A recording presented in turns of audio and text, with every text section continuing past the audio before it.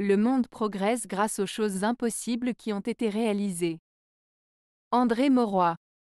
Cette citation d'André Mauroy est très inspirante et encourageante, car elle met en valeur l'importance de la persévérance et de la créativité dans la réalisation de choses qui semblent impossibles.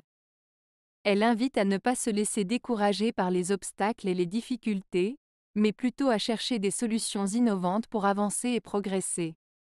Cette citation résonne particulièrement dans le contexte de l'innovation technologique et scientifique, où de nombreux progrès ont été réalisés grâce à des idées audacieuses et des défis apparemment insurmontables.